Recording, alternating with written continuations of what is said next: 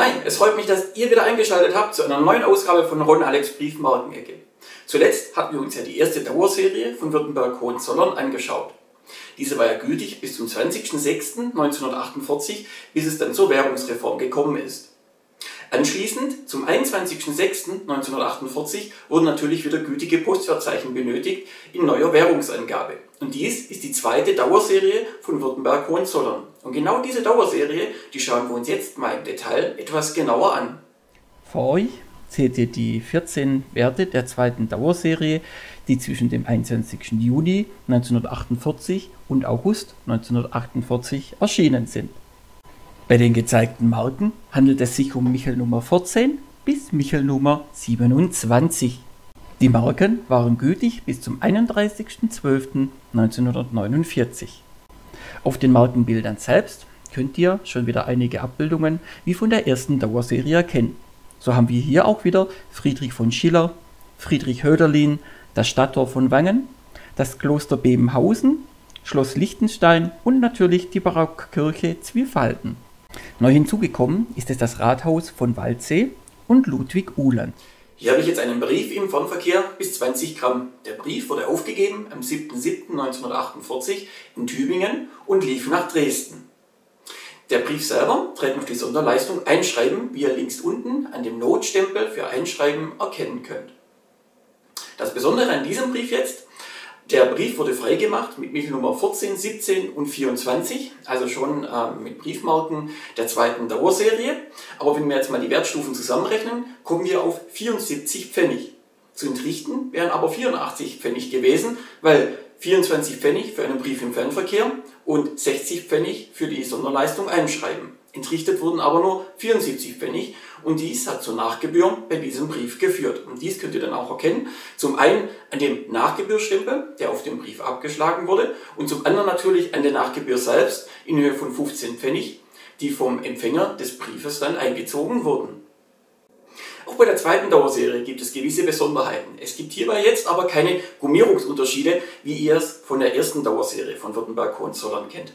Hierbei gibt es jetzt Papierunterschiede. Zum einen gibt es glattes weißes Papier mit einer Dicke von 0,07 mm bis 0,1 mm und dann gibt es das besondere, das Z-Papier, was auch bedeutend höher gewertet wird. Das ist glattes ähm, weiß-graues Papier mit einer Dicke von 0,055 bis 0,065 mm. Die Papierdicke kann ich jetzt euch leider nicht näher zeigen, weil auf dem Scan sehen die Briefmarken leider alle gleich aus.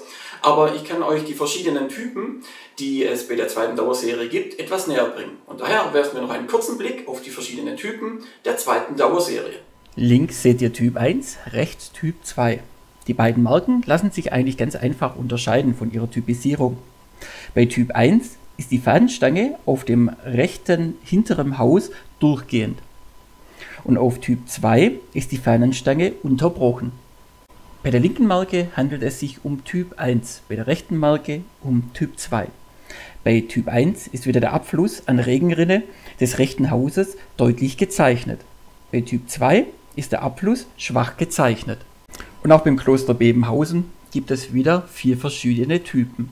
Von links nach rechts Typ 1 bis Typ 4.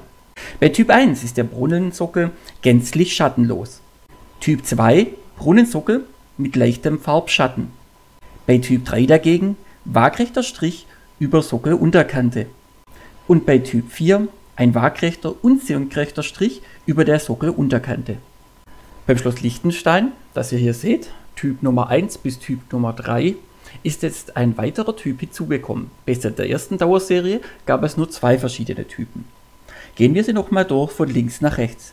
Links Typ 1 vier kleine Tannen am Berghang links neben dem Telegrafenmast.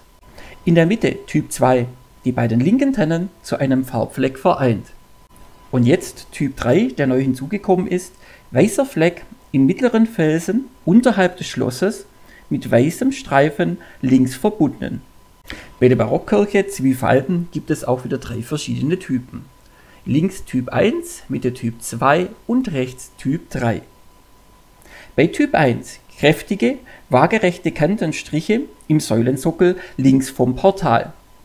Dagegen bei Typ 2 sind es schwache Kantenstriche und Lücke in der Giebelwand rechts neben dem M.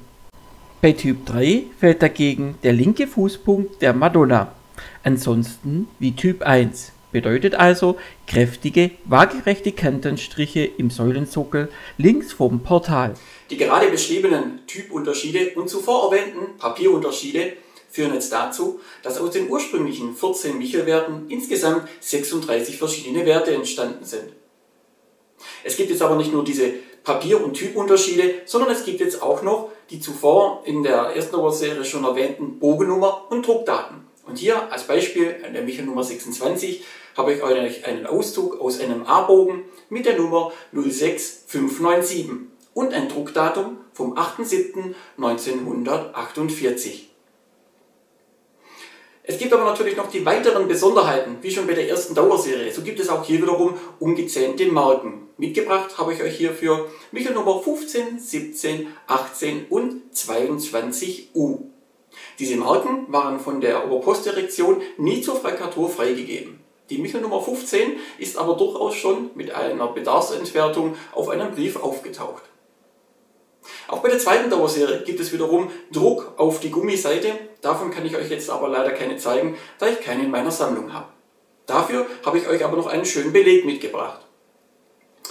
Ein Brief aufgegeben in Schwenningen am 21.07.1948 und der lief nach Freiburg. Der Brief wurde freigemacht mit zweimal Michel Nummer 18, also insgesamt 24 Pfennig für einen Brief im Fernverkehr bis 20 Gramm Porto richtig freigemacht. Doch wo ist das Besondere jetzt dran? Schauen wir uns die obere Michel Nummer 18 mal genauer an. Und da sehen wir sie auch schon. Wir haben eine Warze auf der Nase. Plattenfehler Nummer 2 der Michel Nummer 18. In genau diese Plattenfehler der zweiten Dauerserie schauen wir uns jetzt noch einige an. Bei der gezeigten Marke handelt es sich um Michel Nummer 19. Bei dieser gibt es vier verschiedene Plattenfehler. Doch beginnen wir mal bei Plattenfehler Nummer 1.